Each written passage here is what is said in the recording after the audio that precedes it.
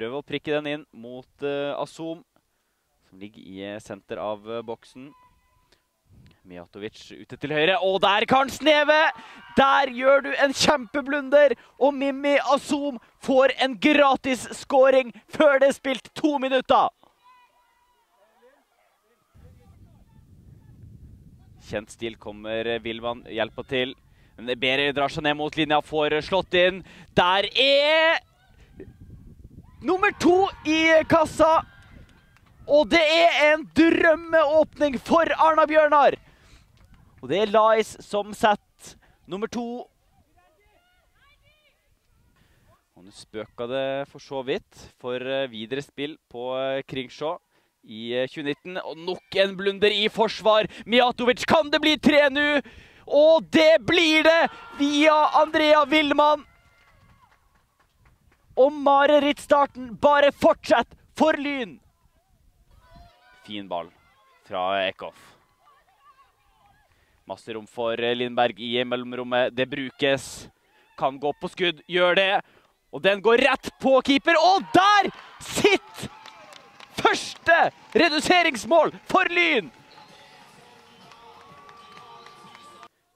Eckhoff. Får levert den til Hasund.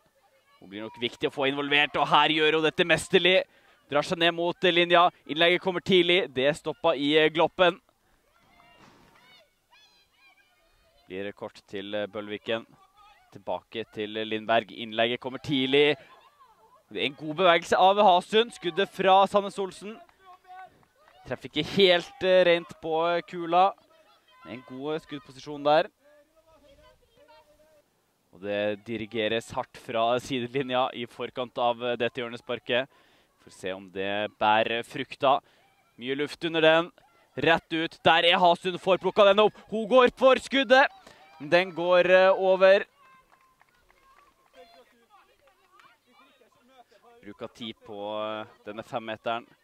Oda Bogstad. Og der eh, glir hun og serverer den til Lillegård. Hun er vanskelig å ta igjen. Og der har de fått enda en skåring! Og det som så så mørkt ut for bare minutter siden, vis glimt av lys for Lyn! Og eh, de spilte i går. Trondheimsøren vant hele 4-0. Her kommer eh, Hasund. Masse rom, helt motsatt. Og der sitter den i stolpen, men flagget er oppe. Da kan de ta Lyn i ubalanse. Nygard kvikk i beina. Det er godt gjort. Mijatovic går på skuddet, men det blir eh, forløst. Hasund møter, får den, legges igjen. Fint gjort av eh, Lindberg. Får slått den inn på bakre. Der er Søyland! Og der sitter nummer tre for Lyn! Og vi er like langt igjen! Rett før pause! For en snuoperasjon av Lyn!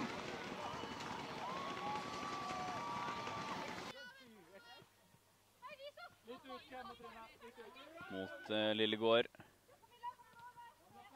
Blir uh, revet over henne. Får også frisparket. Tar seg god tid. Prøver å gi noen uh, direksjoner av Hasund før hun slår den. Kaller til seg Lindberg. Bruker også Lindberg. Kommer innlegget på første fra ho. Klarer ikke å få klarert kula. Hasund! Og den sitter i nettaket fra Vilde Hasund! Og Lyn har snudd oppgjøret! I 2018 ble kåra til årets fotballtalent på kvinnesida. Enda en Arna Bjørnar tenåring. Det er lov å forvente mye av. Innlegget kommer mot Azum. Løs. Nygard får en sjanse nummer to! Og da sitter den for ikke Nygard! Og vi er like langt igjen. Elise Stenevik som står klar, opp med en hånd. Hun druser til, og da må Sneve slå den over tverrliggeren. Ja, og det siste målet til uh, Lyn kom jo på uh, frispark. En posisjon ikke langt unna dette. Da var Lindberg veldig delaktig. Nå blir det Hasund. som går for skuddet, og den går uh, utafor. Savna nok Lindberg å spille på i den situasjonen. Ja, De klarte ikke å holde seg på riktig side av låven forrige hjørnespark.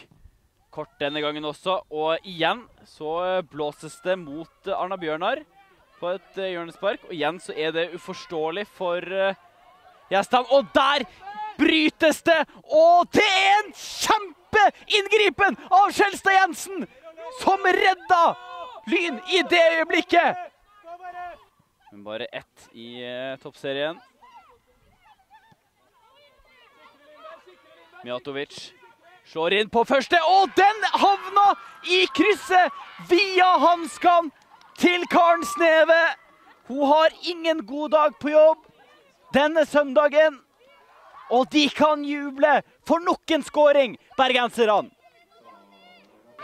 Hun er veikest i denne duellen. Hun får eh, innkastet. Lillegård